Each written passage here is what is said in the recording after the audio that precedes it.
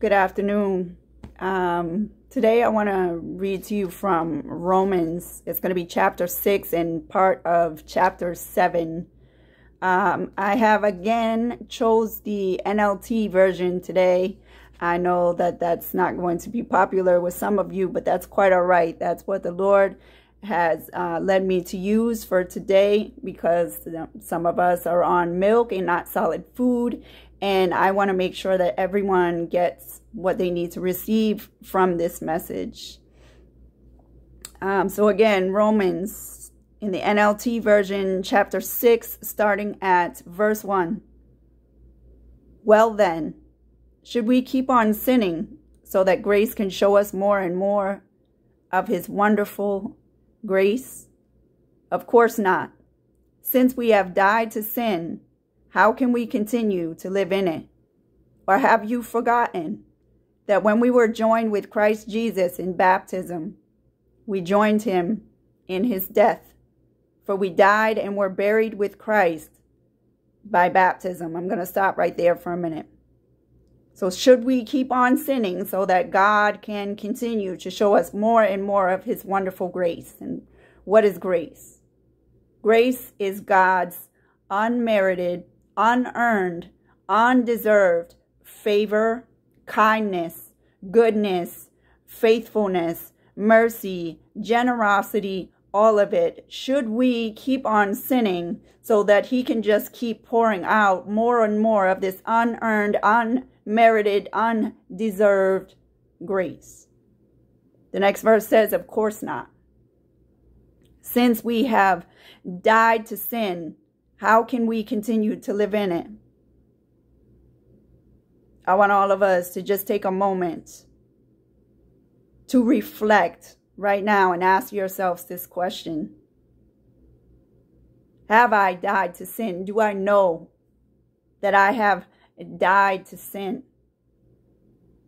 Is sin losing its grip on me little by little from glory to glory? Am I dying to myself? We have died to sin, and we need to walk in that knowledge and we need to walk in that revelation. See, God's grace was just not so we could secure a, a, a spot in heaven. God's grace was not just so that we could avoid hell either. God's grace was actually so that we could be empowered by his Holy Spirit to live a changed, transformed life as a new creation on the earth. On the earth. Since we have died to sin, how can we continue to live in it? Or have you forgotten that when we were joined with Christ Jesus in baptism, we joined him in his death. How many of you know that baptism is symbolic, right? Water baptism is symbolic. You're basically being buried with Christ. It's a public declaration that you are burying the old you with Christ. You are crucifying the old you with Christ to that cross. And you're being raised when you, when you come up from being submerged, you're being raised to new life. New life. You are now born again, which Jesus told Nicodemus that we must, not we should be, not, you know, we, we, we could be, but we must be born again. Not only to enter into the kingdom of God, but to actually see it. When we're born again, the scales actually come off our eyes. And we can start to discern spiritual things that made no sense before. When that veil is removed off of our hearts. Are you walking in the knowledge and the revelation that you are a new creation? Are you walking in the knowledge and the revelation that the old you died to sin? Are you walking in the knowledge and the revelation that when Jesus Christ conquered death, hell, and the grave by resurrecting after dying on a cross and being buried in a tomb and raising raising to life three days later, resurrecting three days later, that he put the law of sin and death to an open shame. Okay, that sin that had so much power of you that you were a slave to before. You are no longer a slave to you to. Are you walking in that knowledge? Or have you forgotten that when we were joined with Christ in baptism, we joined him in his death? For we died and were buried with Christ by baptism. And just as Christ was raised from the dead by the glorious power of the Father, now we also may live new lives. Are you living a new life as a Christian? Are you living a changed, new, transformed life? Are you living in the knowledge and the revelation that the old you died and you were made alive in Christ Jesus? And you are a new creation, born again. And that your body is now a temple of the Holy Spirit. If you are living a changed, transformed life that is only possible by the power of the Holy Ghost and the death, burial, and resurrection of Jesus Christ, and putting your faith in Him, and by putting your faith in him, you not only acknowledge him as your savior, you acknowledge him as Lord of your life. You realize that Jesus Christ is God manifested in flesh and that he gave his life for yours. He sacrificed his life and took your judgment, your punishment, my judgment, my punishment upon himself. So is this grace just so that we can go to heaven? Is this grace just so that we can avoid eternal judgment? Is this grace just so we can avoid going to hell? When we breathe our last on this earth, no, it's so much more than that. This grace enables and empowers you to live a changed life, a transformed life. And you're living that life in front of the people that remember who you used to be. You're living that changed and transformed life. Walking in the newness of life, the life, the new life that Christ, Jesus Christ gave you in front of people who remember the heathen, the harlot, the addict, the prostitute, the pimp, the dealer, the whatever that you used to be. And how loveless you were, and how you are walking in love now and, and speaking from a place of love now. It's undeniable. Have you noticed the changes and the transformation taking place in your life? Are you bearing the fruit of being a new creation? This is what I want you to ask yourself today. Now, if you are new to the faith, if you have just decided to make Jesus Christ Lord of your life and acknowledged him as Savior, realizing that there's nothing you could possibly do to save yourself.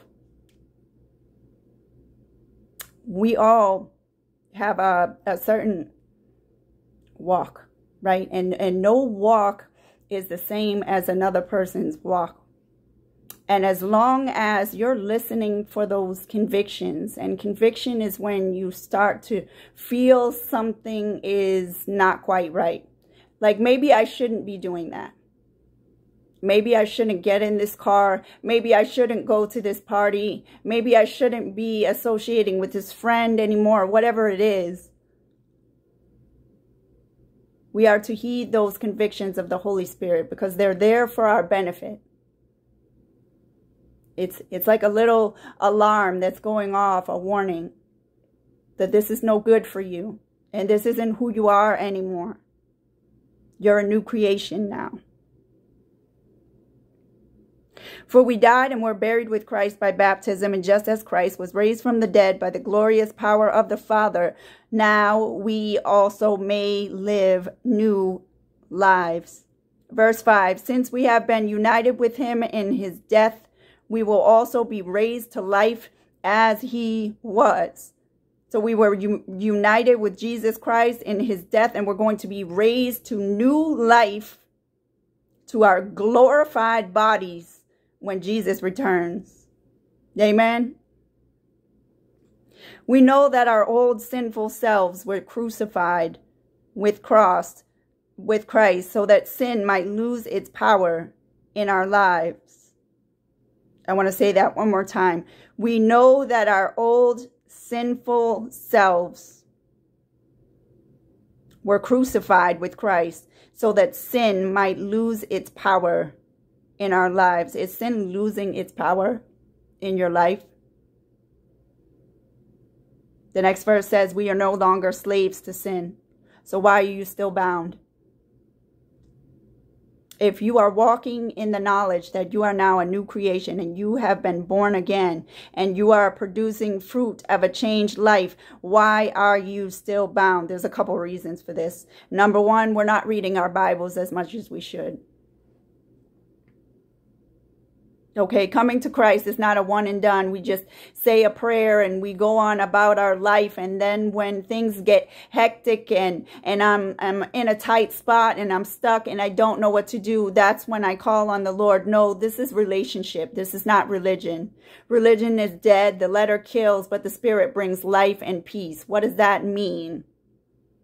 It means that when you're you're living under the old covenant, the law, and you're trying to buy your own works and your own abilities and your, your the the goodness that you believe that you have, you know, some of us believe, well, I'm a good person, so I should be able to go to heaven, right? Wrong. The Bible says that our righteousness is filthy rags before the Father. Filthy rags before the Father on your best day no matter how kind and good you think you are. All have sinned and fallen short of the glory of God. And what that means, the word sin means to miss the mark. We literally went and aimed at a target and we missed it completely. We missed it completely. Not a single one of us could live a sinless, blameless life. So Jesus Christ lived that sinless, blameless life. Why? Because he is God. God, the invisible God made visible. And he walked among us on the earth and he lived here for 33 and a half years. And three and a half of those years was his ministry on the earth where he performed mighty miracles like never seen before. And still people didn't know that their Messiah had come. How sad is that? That people still don't recognize God when he's right there and he's present because we're looking for a certain feeling, a certain manifestation for the power of God to move in a not just a tangible way, but something we can see. But how many of us know that God doesn't always operate like that? And just because you you're not getting, you know, this tingling sensation does not mean that God is not present. God is not a feeling. He is a person. He's a person. So that sin might lose its power in our lives. We are no longer slaves to sin. For when we died with Christ, we were set free from the power of sin. When we died with Christ, have you died with Christ? Have you died with Christ? Are you seeing changes in your life that indicate to you, I am not the same person I was two years ago, four years ago, six years ago? Are you seeing the fruit being produced of a changed and transformed life, of a changed and transformed mind, of a changed and transformed, especially if your identity was hijacked before, a changed and transformed identity where you're now walking in the knowledge of who you are in Christ. Not lead, not needing validation anymore from the things of this world because Jesus Christ is the only validation you will ever need.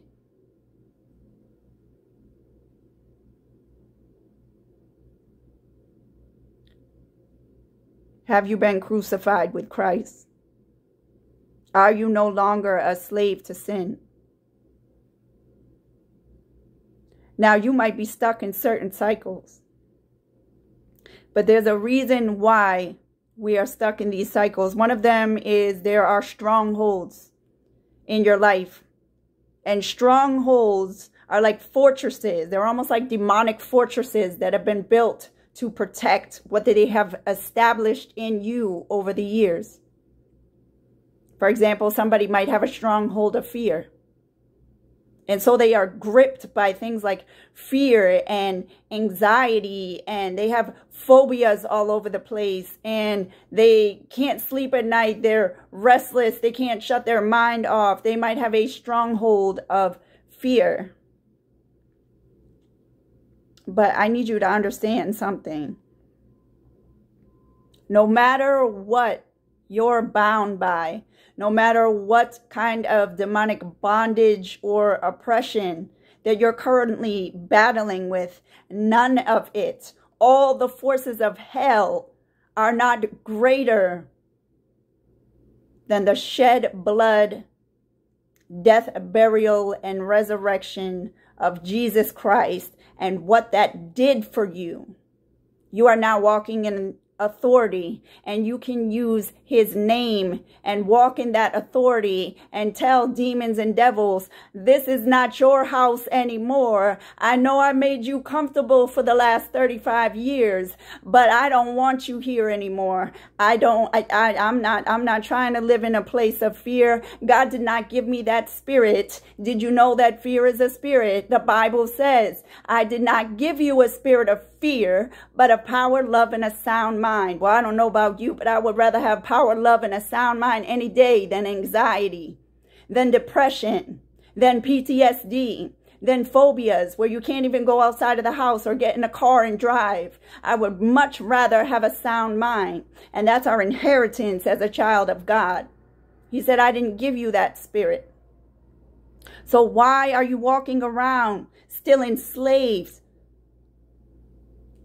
when the death, burial, and resurrection of Jesus Christ was meant to liberate you. Because who the Son sets free is free indeed. And where the Spirit of the Lord is, there is liberty. And as a child of God, if you know like you know like you know, you are a child of God. Where the Spirit of the Lord is and the Spirit of the Lord dwells and abides in every single temple, meaning you, Every single child of God dwells in their temple. Where the Spirit of the Lord is, there is liberty. Liberty means freedom. So why are you still bound? Maybe you need deliverance. Maybe you're not reading your Bible as much. We are told to meditate on the Word of God day and night. Meditate.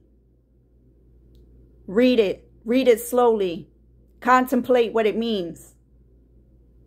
Ask the Lord questions. I don't understand this, Lord. Help me to discern what I'm reading. The Bible is spiritually discerned. But if you have the Holy Spirit, he will help you discern the meaning of what you are reading. And then what you want to do is you don't want to just be a hearer of the word. You want to be a hearer and a doer, meaning now I'm going to take what I read today and I'm going to put it into practice. I'm going to apply it to my life. That's how we are renewed, transformed by the renewing of our mind, the Word of God, meditating on the Word day and night, because the word is sharper than a double-edged sword. Jesus Christ is the word made flesh. The word is sharper than a double-edged sword and shows us the thoughts and intents of our hearts. And so, yes, when we read the word, we get convicted because we realize how sinful we really are. But then we get earnest about not wanting that in our lives anymore. And then we trust, we trust in God to do what he promised. We trust in the Lord to carry out his most perfect will in and through us. We trust that he does not fail. So that takes the pressure off, right? As long as we have a relationship with him and we know that God does not fail, and he who has begun a great work in you is faithful to finish it. He is the author and finisher of your faith. All you have to do is just trust him to do what he came to do, what he said he will, will do, what he promised, because God does not break covenants and he does not break his promises. All his promises prove true. All his promises are yes and amen. So that's another question. Are you reading your Bible? And I'm not just saying, are you just reading it to read? Are you really meditating on it? What does this mean? What does this mean, Lord? How can I apply it in my life? How can I use what I've learned to be transformed from glory to glory? Amen. Christ was raised from the dead and he will never die again. Death no longer has any power over him. When he died, he died once to break the power of sin. Again, he broke the power of sin. I'm going to talk about that in a minute and the authority that maybe a lot of you don't even know that you're walking in. And maybe you don't even exercise the authority you've been given. But you don't just have to lay down and take a beating of the enemy, of the devil when it comes because every single one of us is going to come under attack as a child of God. But we don't have to accept the thought, the, the images that are, are planted in our minds, the thought that comes across our minds. No, we need to walk in the in the, the knowledge that we are a new creation. That was the old me. I don't think like that anymore. I wouldn't do that anymore. I'm turning my back on that sin right now. I'm not looking back like Lot's wife. I'm not looking back at Egypt where I once was a slave to the devil and his agenda. I got my eyes fixed on Jesus. I want what he has for me. I don't want anything that my old life had for me. Amen. Death no longer has any power over him. When he died, he died once to break the power of sin. But now that he lives, he lives for the glory of God. And so do you. As a child of God, you are not your own. You were redeemed. That means to be bought back. You were bought at a price. Your ransom was paid in full. You had an enormous debt and Jesus Christ paid it for you, not just in full. He paid everything that you owed up until this point and everything that you would accumulate thereafter. Amen. He paid your debt in full but not so that we can continue living in wickedness. Not so that we can just keep depending on grace to, to cover up living in iniquity. No, he broke the power of sin over your life. I'll give you an example. This might be too much information, but I'm going to tell you anyway. I have been, I made a conscious decision that I was not going to have relations with anyone of the opposite sex because I never knew that my body was a temple and I never treated my body like a temple. Okay? And when I came to the acknowledgement that a lot of the decisions that I made relationally were because there was something very wrong on the inside of me that made allowances for being treated a certain way, that made allowances for domestic violence and abuse of the worst possible kind just for the sake of having someone. So I made a vow to the Lord six years ago and I said, it's just me and you, God. It's me and you until you work out whatever it is in me that would allow myself to be abused to such a degree and think that that's okay or acceptable. I said, it's just me and you. So I made this vow and I, and I kept this vow. Amen. We are no longer slaves to sin. I used to be codependent. I used to be the kind of person that bounced from relationship to relationship because I couldn't stand being alone. I needed to be needed. I was very insecure, but I masked that insecurity with a whole lot of uh, pride and arrogance and haughtiness, but it was all a facade. And then finally, one day, the Lord showed me who I really was who I really was, not who I was pretending to be, but who I really was and how I really felt about me. And it hurts. Conviction does not feel good. It's not supposed to feel good. It's supposed to be offensive. That's how we grow. That's how we grow. That's how that's how we live a, a transformed life. Is when we obey these convictions. When the Holy Spirit, you, you feel that pull in an opposite direction. You want to go one way, but you feel a pull in the opposite direction. Why? Because the Holy Spirit is the great restrainer. The great restrainer. I'll give you an example. There was one time where, and I used to be a very combative individual. And I was volatile and angry all the time. And used to curse like a truck driver and I'll never forget this one time or whatever that I was coming back from church and I ended up in this neighborhood. I didn't know where I was. So I turned on my GPS for a minute to try to figure out where am I so I can find my way back home. And I had some gospel hip hop playing in my car and this woman gave me a look like she wanted me dead. I've never seen her a day in my life but she gave me a look of pure venom and hatred. And I was like, was that for me? And then she came over to my car and she was screaming over the music, telling me to turn it down. And I turned the music down, but she was she was calling me all kinds of nasty names. She was threatening to call the police. She was going to write down my license plate. Now the old me would have flipped. And I felt, I felt that rage. I'm being honest with you here. I felt that rage literally sit in the pit of my throat.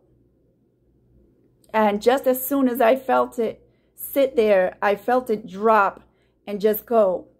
And I was completely at peace and calm. And I said to her, you know, I'm sorry. Um, I, I figured out where I'm going now. I just pulled it up on the GPS, so I'm going to get going. You have a blessed day. That is how the Holy Spirit restrains us. See, before, when we were children of wrath, we were controlled by the devil. We were controlled by Satan. We were controlled by demonic bondage. But now that the Holy Spirit lives in us, the same Spirit that raised Jesus Christ from the dead, that is who restrains us. That is who we are controlled by. And just for the record, I just want to make sure that everyone understands the Holy Spirit is not the power of God. The Holy Spirit is a person. And he is grieved all the time when we ignore his convictions.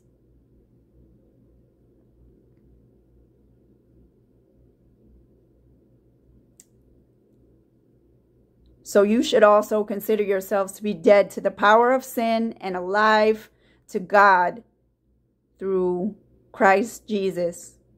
The old you died so that you could live for Christ. I don't know if you know what that means, but the old you died so you could live for Christ. So again, you were redeemed, you were bought back, you are not your own. The old you died so you could live for Christ.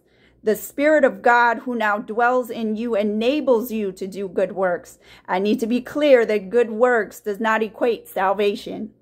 There is no good works that you can do to save yourself. However, the Holy Spirit equips you and enables you to do good works, to live for Christ. See, now you're going to be part of the Great Commission. And the Great Commission is what? Number one, that's why we need to be in our Bible. That's why we need to read our Bible. We need to study to show ourselves approved. We need to meditate on the scripture day and night. Why? Because if you don't, you're not going to be able to preach the gospel to a single soul because you don't understand what it means yourself. So we study to show ourselves approved. And we don't forsake the assembly. We go to church. Why do we go to church? Just so we can check it off our to-do list? No. Why do we go to church? Because the Bible says don't forsake the assembly. Well, that's only part of the reason. Another reason why you go to church is because fellowship is important. You need to be with like-minded individuals. We're all part of the same body and Christ is the head. We're all members of that body. And we're there to edify and to empower and to encourage and to uplift each other and even gently correct and rebuke each other in love when needed. We also go to church so that we can develop the heart of a servant. Because how many of us know that Christ did not come to the earth to be served, but he came to serve. He was again giving us an example to follow. That's what we're here to do. We're here to serve the Lord and his purposes on the earth and his people. Amen. So this is just not so you can get a ticket into heaven. This is not just so you can avoid the eternal torment of hell. It's so much more than that. You are not your own. Verse 12, do not let sin control the way you live. Do not give in to sinful desires. Now, the temptations are going to come. There's nothing you can do about that. Temptation is always going to, to come. But God is not the one who does the tempting. The devil is. Don't let sin control the way that you live. Here's a good example. If the Bible tells us to flee sexual immorality, and we meet a man or a woman that we're interested in, right? but they're pushing us for sex before we're actually married. What does the Bible tell us to do? Flee sexual immorality, not enter into fornication and then get married later. No, there's a divine order and a way of doing things, and God expects us to follow it. Especially when you know better, you're supposed to do better. Do not let sin control the way you live. Now, if you're trying to fight and overcome temptation without the power of the Holy Spirit, you're going to lose every time. It's not possible. Okay? The, again, the Holy Spirit is the great restrainer. Okay? That that's how you overcome. That's how you overcome temptation. It's when you when you realize that apart from the Lord, apart from Jesus Christ, you can't overcome temptation. You can't overcome sin. Okay, he says, apart from me, you, you can't do anything. He said, apart from me, you can't bear any fruit at all. So do not give in to sinful desires. Well, what are we told to do? Look the other way. Take out of sight, out of mind. Look the other way. Avert your gaze. Look at something else. Go somewhere else. Don't keep going back to the place where you're being tempted. Throw that away if it's a problem. Don't let any part of your body become an instrument of evil to serve sin. Again, your body is your temple of the Holy Spirit, a temple of the Holy Spirit. So you need to understand something, right? The Lord says, I never leave or forsake you. Many of us don't think about this, but I want to give you this thought. I think it's important. If you're a temple of the Holy Spirit and the Holy Spirit dwells in you, do you think the Holy Spirit wants to go smoke with you? Do you think that the Holy Spirit wants to go to the club and have a few drinks? Do you think that the Holy Spirit wants to observe you laying down with somebody outside of a covenant marriage and having to watch that? The Holy Spirit is holy. Holy, holy, holy is the Lord God Almighty who was and is and is to come. He can't stand the sight of sin. There is no iniquity in him. He's holy. There's no sin in him. Do you really think that the Holy Spirit wants to join you in your folly, your foolishness, and your sin? I can tell you right now, he does not. And it grieves him. Again, the Holy Spirit is a person. And it grieves him when we bring him with us into these activities. And he has to bear witness to these choices that we make, knowing that it's wrong. Don't let sin control the way you live. Don't give in to sinful desires. What's another way that we, we could do that? Entertaining a thought. Entertaining a thought because the thought itself is sin. Jesus made this clear. It's not just the, the act of adultery itself. It's the lusting after another person. Lusting after another person means you've already committed adultery with them in your heart.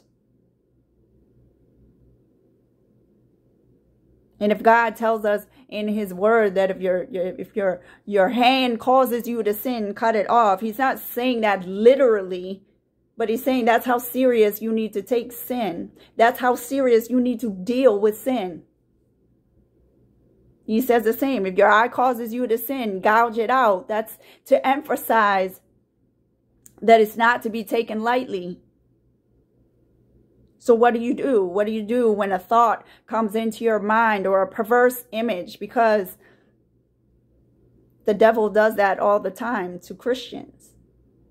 Spirit-filled Christians. He'll try to implant a, a thought or an image in your mind. If you entertain it, then it becomes sin. But what are we told to do? If you read your word, you would know that we're supposed to cast down every imagination, every thought that exalts itself against the knowledge of God and bring it into subjection unto the obedience of Jesus Christ. What does it mean to bring that thought into subjection? First of all, we need to take authority over that thought. The minute that it comes into your mind, uh-uh. Or it, it could be a thought as far as words, not just an image. Let's say it's a thought of condemnation. Maybe you have a thought that says you're going to hell because you did something that you weren't supposed to do. But you need to attack that thought with the knowledge of God. What does the knowledge of God say? It says, there is therefore now no condemnation in Christ Jesus. It says that I am saved by grace through faith and no works of my own. So there's nothing that I could do to save myself. And when, when you use the word against the devil's deceptions and against his attacks, he has no choice but to flee in Jesus' name. At the name of Jesus, demons flee. That's the truth every time. Now, I'm here to tell you that they can be persistent. They can be persistent. They're not always going to leave on the first try. This is why we need to know the word. So when my mind is being assaulted by whatever, I just say, uh-uh. I cast that thought right back to the pit of hell where it came from.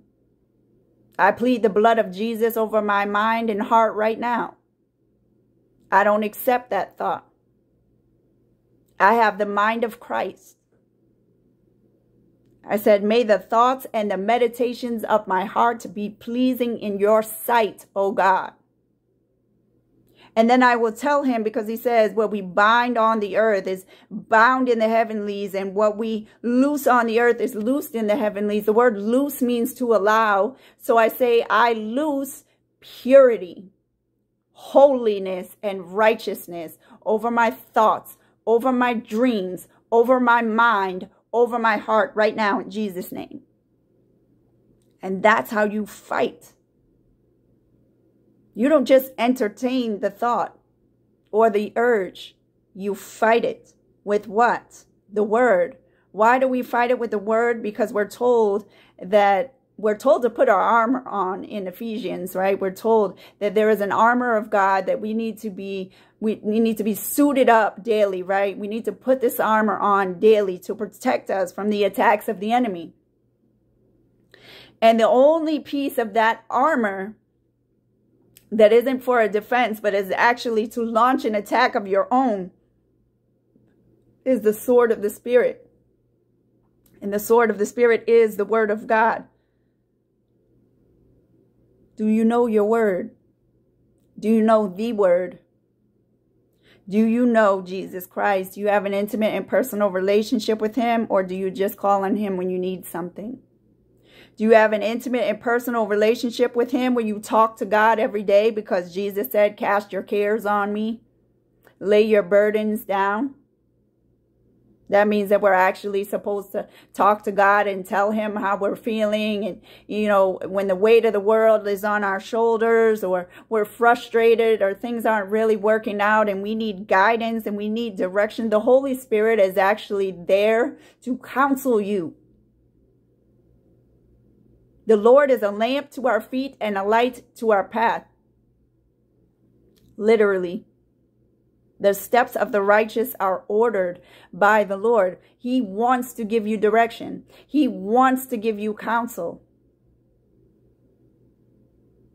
But those who ask receive, not those who stay silent, not those who only come to God when you need something. No, this is relationship. And how many of us know in order to maintain any kind of a relationship, there has to be communication. Regular communication. You wouldn't come home to your husband or your wife and never speak to them. Or only speak to them when you need something. No, see, we put so much more um, effort into worldly relationships than we do with the one who created us and breathed breath into us and knows us better than we know ourselves and watched over us while we were being formed in our mother's womb, whose thoughts of us outnumber the grains of sand on the seashore. We ignore that God. We deny ourselves a relationship with that God when he actually created a way through Jesus Christ for you to enter into the throne room and talk to him anytime, 365 days a year, 24 hours a day. And he's actually looking forward to hearing from you. And what's funny is that he already knows what's on your heart, what's on your mind. He just wants you to come to him. Don't let any part of your body become an instrument of evil to serve sin. Instead, give yourselves completely to God. God doesn't want a piece of you. He doesn't want your leftovers, your scraps of attention. He wants all of you. The greatest command in the Bible is to love the Lord thy God with all your heart, mind, soul, and strength. That means he needs to be number one in your life. Everything else comes after him. Amen. Use your whole body as an instrument to do what is right for the glory of God. Remember that even our bodies, even our temples can be used for the glory of God. Sin is no longer your master. I want somebody to catch that revelation today. Sin is no longer your master. The power of sin and death has been broken over your life. You are a new creation. Sin no longer has the final say in your life, for you no longer live under the requirements of the law. Instead, you live under the freedom of God's grace. Again, reminding ourselves that we are to be born again, that God's grace is not so sin can abound. God's grace is so that you can live a changed life, a transformed life. And so that he can use that, that changed, transformed life because we overcome not just by the blood of the Lamb, but also by the word of our testimony. And the word of our testimony is what Jesus Christ did for you. And you're going to go out and you're going to tell other people, God did it for me and he'll do it for you too. This is what Jesus did in my life. This is who I used to be. These are the kind of things that I used to do. That's your testimony right there. And when people see not only that you can just relate, but that you've been through things that they might even be walking through right now, it gives them hope. How many of us know that Jesus Christ is our blessed hope? And Jesus offers us hope. How? Through our testimony of what he did for us, what he has done, he's doing in and through us, and what he did in our lives. Amen. And he gets all the glory. God gets all the glory. So you're now living under the freedom of God's grace. Not so sin can abound. Jesus didn't come to abolish the law. He came to uphold it. But he also didn't come to condemn anyone. He came to save them. Well, then, since God's grace has set us free from the law, does that mean we can go on sinning? Of course not. Don't you realize that you became the slave of whatever you choose to obey? I know there's going to be several people that don't even like the word slave. I get it. But this is the easiest way for us to understand. As, as a child of wrath, you were a slave to the devil and you were a slave to his agenda. And now you are a slave or you are an obedient servant when you obey the Lord, when you follow his commands. Amen. So it says, don't you realize you become a slave of whatever you choose to obey. Jesus said, if you love me, you'll obey my commands. And the number one command can be summed up in one thing, and that's love. Love for God, first and foremost, you love him with all your heart, mind, soul, and strength, and you, then you love your neighbor as yourself. That's, that's the sum total. Because when you, when you look at it, if I'm loving my neighbor, I won't lie to my neighbor. If I'm loving my neighbor, I won't, I won't cheat them out of something that's rightfully theirs. If I'm loving my neighbor, I won't be deceptive and conniving. And if I'm loving my neighbor, I'm not going to offer them false flattery, but I'm going to be truthful and honest. If I'm loving my neighbor, I'm going to show them mercy. If I'm loving my neighbor, I'm going to give of myself when I have it to give. I'm going to be generous and helpful and kind and compassionate if I'm loving my neighbor. But how many of us remember that before Jesus Christ got a hold of us, we were far from loving our neighbor. We didn't even love ourselves. You can be a slave to sin, which leads to death, or you can choose to obey God, which leads to righteous living. I'm going to say that one more time. You can be a slave to sin, which leads to death. And I do need to emphasize that that death is eternal. It is eternal destruction. It is eternal torment, meaning death is not the end. You don't just get buried in the ground and that's the end of it. No. Your soul is eternal. And if you choose to reject Jesus Christ on the earth, he said he's going to reject you before his father, before his father in heaven, before the father in heaven. And that would be your choice because hell was created for the devil and his angels. So it is a choice. He gives us the free will to be able to choose the free gift of salvation. It's up to you.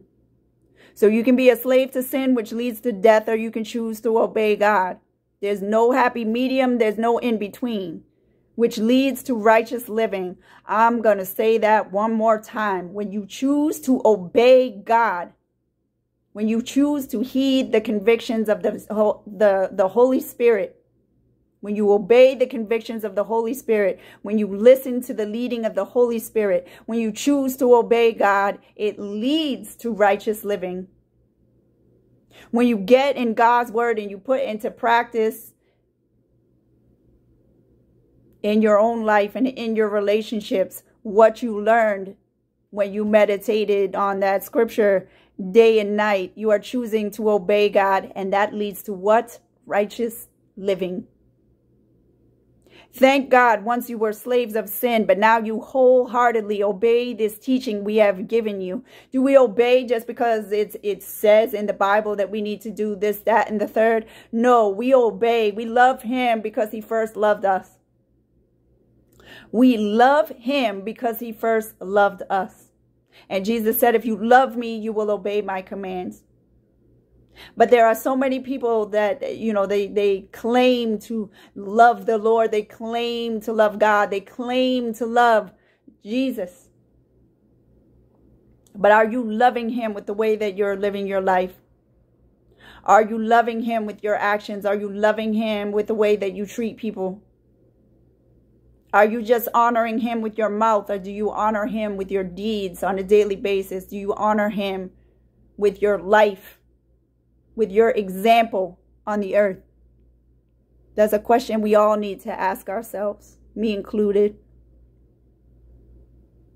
Once you were slaves of sin, but now you wholeheartedly obey this teaching we have given you. Now you are free from your slavery to sin and you have become slaves to righteous living. Now, I know, again, slave is not a popular term, but I'm going to tell you right now that I would rather be a slave to righteous living any day than be a slave to the devil and his agenda, than be a slave to lawlessness, than be a slave to depression, than be a slave to anxiety, than be a slave to adulterous relationships, than be a slave to all kinds of addictions and compulsions and destructive habits. I would rather be a slave to righteous living any day than be a slave to mental torment, than be a slave to things like pride and arrogance that would keep me from reaching for the one who can heal me and liberate me from my bondage, from my torment, from my pain. Yes, I would rather be a slave any day to righteous living than a slave to the alternative. Because of the weakness of your human nature, right? Because we're, we're told our flesh is weak. The spirit is willing, but the flesh is weak. My flesh might may fail, but the Lord is my portion forever. Right? So we know that our, our flesh is weak and it's always going to be weak. But if you spend too much time focusing on the lust of the flesh, the lust of the eyes, and the pride of life, if you haven't come out from among them, if you're still sitting on the fence, kind of in this lukewarm stance. I love God, but I don't want to let go of these things. I love God, but I like my old friends. I, I love God, but I really like the club and, and, and I don't know, it's kind of boring as a Christian because I have to be set apart and I have to let go of certain friendships and I've known these people for a long time. Well, how many of us know that there's a waging war that starts happening immediately between the flesh and the spirit? The flesh rejects, is repelled and vehemently bucks up against the things of God. Your flesh does not want to pray. Your flesh does not want to worship the Lord. Your flesh does not want to go to church. Your flesh does not want to develop the heart of a servant. Your flesh does not want to study to show yourself approved. Your flesh doesn't want to read your Bible. And this is why we need to die daily. This is why our flesh needs to be crucified. Our flesh needs to be crucified. The flesh is weak. Don't you realize that you become a slave of whatever you choose to obey? You can be a slave to sin, which leads to death, or you can choose to obey God, which leads to righteous living. Thank God once you were slaves of sin, but now you wholeheartedly obey this teaching we have given you. Now you are what? Free. Again, whom the Son sets free is free indeed. And where the Spirit of the Lord is, there is liberty. What are you free from? Your slavery to sin. And you have become slaves to righteous living. Hallelujah. Because of the weakness of your human nature, I'm using the illustration of slavery to help you understand all this. Previously, you let yourselves be slaves to impurity and lawlessness, which led ever deeper into sin. How many of us know that the more you ignore the convictions of the Holy Spirit, the easier it is to get deeper and deeper into that sin, to get more and more ensnared into iniquity. Why? Because when you quench the Spirit, when you quench the leading of the Holy Spirit, when you quench the conviction of the Holy Spirit, your heart becomes hardened again to the things of God and your sin separates you from him, which makes it much easier for you to sin and not so not feel so bad about it. You might you might get convicted but not enough to make a change. Previously, you let yourselves be slaves to impurity and lawlessness, which led ever deeper into sin. Now you must give yourselves to be slaves to righteous living so that you will become holy. That word become indicates that you're not holy right away. Yes, we went from sinner to saint. That part is true. But you're not holy right away. You're in the process of being made holy. And that process will be finalized, but not until you get your glorified body when Jesus returns. And none of us know the day of the hour. So we are to be watchful and sober-minded. I want to emphasize that again. Sober-minded. Watchful. Ready when you were slaves to sin, you were free from the obligation to do right. How many of us know that when we were slaves to sin, first of all, we didn't feel bad about it because everybody else was doing it. It was normal. It was familiar. And even people that when they try to tell you that you're doing something wrong, because it's so common, it doesn't feel bad to you. It doesn't feel bad to you at all. Your flesh loves to sin. When you were slaves to sin, you were free from the obligation to do right. And what was the result? You are now ashamed of the things you used to do. That is a really good indication of the fruit of a transformed life. That is a really good indication of when conviction hits. And conviction will never feel good again, but it's necessary. Is when you become ashamed of the things that you were once comfortable in, that you once made allowances for, that you once didn't see a problem with. That's a good indication that the Holy Spirit is doing an inner work in you.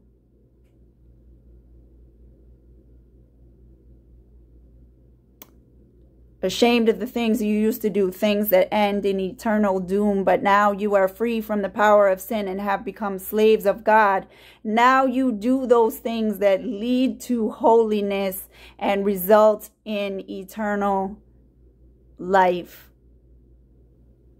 Again, our obedience isn't because of an obligation. Our obedience is because we love Jesus we truly love Jesus. We want to please him. We want for him to be pleased with us. We want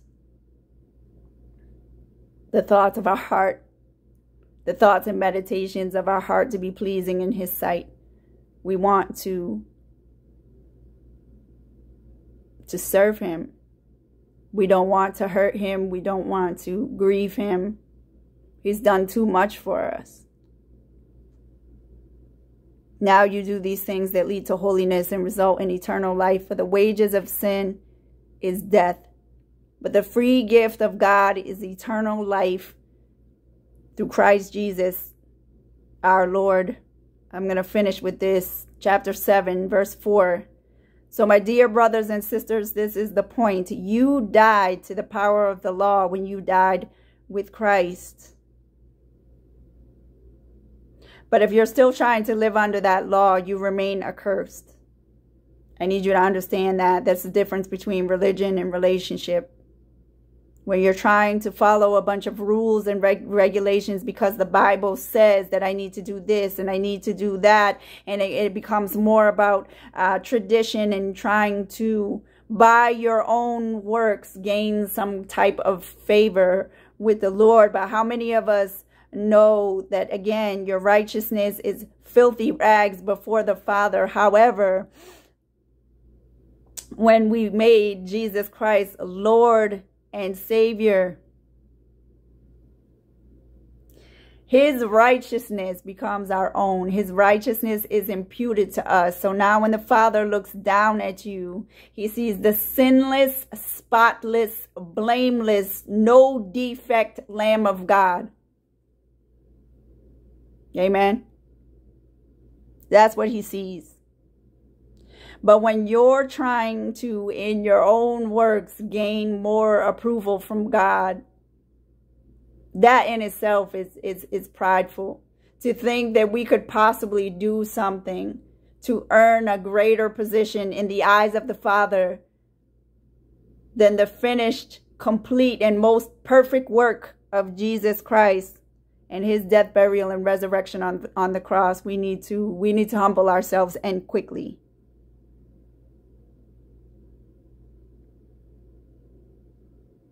You died to the power of the law when you died with Christ, and now you are united with the one who was raised from the dead. So, how many of us know that God's Spirit becomes one with our spirit?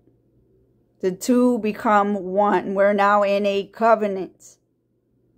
Amen. As a result, we can produce a harvest of good deeds for God. Again, those good deeds do not earn your salvation. They do not um, they do not gain you a place in heaven. No, the, the harvest of good deeds that we're now able to do is because of the Holy Spirit who now lives and dwells in us. Verse 5 When we were controlled by our old nature, Sinful desires were at work within us, and the law aroused these evil desires that produced a harvest of sinful deeds resulting in death. But now we have been released from the law, for we died to it and are no longer captive to its power. Hallelujah. Hallelujah. No longer captive and a slave, liberated, finally free new in Christ, made alive in Christ, living for Christ. Now we can serve God. Not in the old way of obeying the letter of the law, but in the new way of living in the Spirit. We need to be Spirit led. We need to be spirit led. We need to see the fruits of the spirit in our life, which are what? Love, peace, patience, kindness, goodness, faithfulness, gentleness, and self-control. Will you have all of these to a greater degree? No, some you will have more than others. But the whole point is that you want to see more evidence of the fruits of those spirit of, of the spirit in your life day to day. You want to see progress being made where you're becoming more gentle and you're becoming more loving and you're becoming more patient.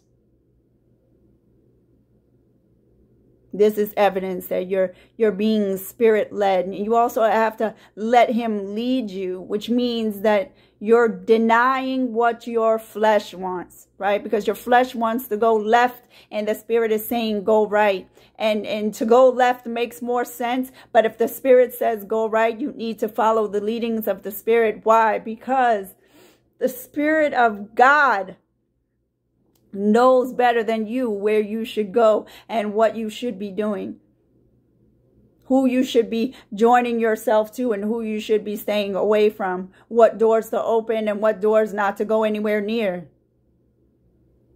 Let him lead you. Even if it doesn't make any sense. I'm, I'm in that season right now where I'm just letting the Spirit lead me. And you can't go wrong. You can't go wrong. He's the beginning and the end, the Alpha and the Omega. God is outside of time. So he's already in the future working out what's going to happen so that when you get there, everything will be already laid out. The foundation will be laid out. Everything will be prepared for you to step into what he has for you in the future. He's already there. Amen. So just um, let God lead you. Pay attention to those convictions from the Holy Spirit. They're not to, you know, they're not to um, make you a prisoner so that you you you have no life and you can't do anything. They're they're all for your benefit. Every conviction is for your benefit. It's for your good. Okay, his plans are to prosper you and not to harm you, to give you a future and a hope. Amen. Again, I, I hope that this this word um, did whatever it needed to do today. I, I hope that, you know, there was conviction where there needed to be conviction. I hope that, you know, a fire was ignited that possibly died out a long time ago. I, I hope that this, this gave you uh, knowledge of the authority that you truly walk in and and hopefully it will give you the confidence to start putting that that authority into practice. So you can stop being the devil's punching bag so to speak and you can stand up to him and you can say uh-uh devil in the name of Jesus you're under my feet. Amen